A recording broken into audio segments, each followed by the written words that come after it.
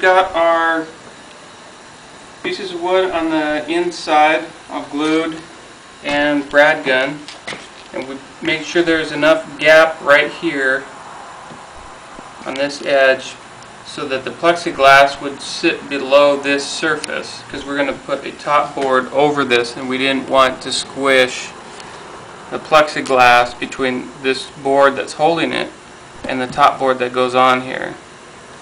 Plus, we didn't want too much of a gap so it doesn't flop around in when we're taking the cover on and off. So as you can see, it sits in here.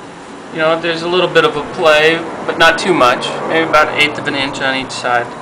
And that's what we measured it out for.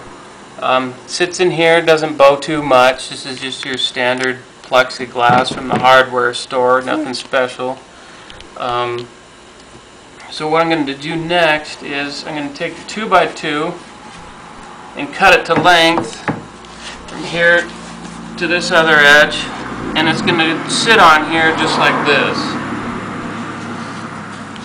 So this this the wood stripping in here is going to hold the plexiglass up and this when we brad this in this is going to keep the plexiglass from popping out in the wind or anything like that or you know however we put the cover it'll prevent the plexiglass from coming out what I'm going to do to make this look a little nicer is on this corner on each one of the corners I'm going to cut these 2 by 2s in the corner at a 45 degree angle kind of like a picture frame to make it look a little nicer from the outside visibly.